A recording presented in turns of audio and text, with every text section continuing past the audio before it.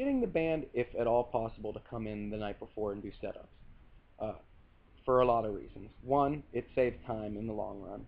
Two, you're able to get you know everything mic'd up and, and at least sounding proper. Um, but also, you can get your instruments to kind of sit in the room that you're, they're going to be recording in all weekend or all week or whatever, and actually acclimate to the temperatures.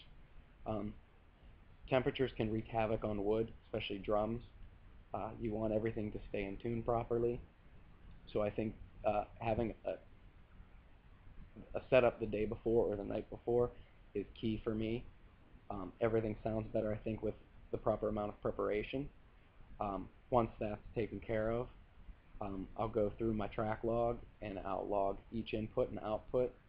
I actually now have a standard way that I mic a drum kit uh, based on previous experience of what work and works and doesn't work, um, such as I might put, um, you know, like a very close pair of mics on an acoustic if they want a really intimate sound, but maybe if they want something a little more distant and reverberant, I'll put some room mics up.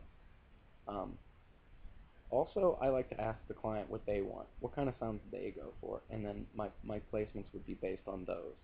Um, being able to hear the type of music they do ahead of time is another helpful thing. Uh, think preparation is the most useful tool that you have, as well as your ears.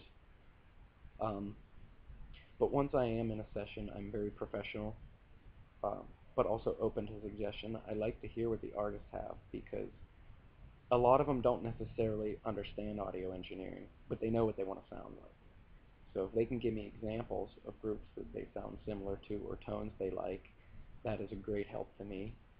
And um, I definitely vibe off other people a lot. So my workflow is very indicative of what other people are doing and how they're reacting.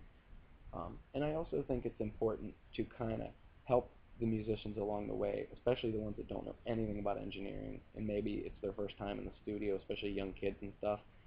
Because being a musician myself and probably have being taken advantage of at least once or twice in the studio, I want them to understand at least some basic principles of recording and understand some basic mic placement. So when they go into a studio and, a, and an engineer tells them, oh, that can't be done, or, or uh, oh, that sounds fine. We'll just EQ it later. Like, well, no, you you can get it right from the beginning without having to use as much processing as you might think. Um, there's techniques, there's ways to go about things to get really good solid sounds without having to rely on plugins to make it better. Uh, getting it sound right from the door is paramount and it should be your number one goal. And I think that in the end the results will prove that and your client will come back.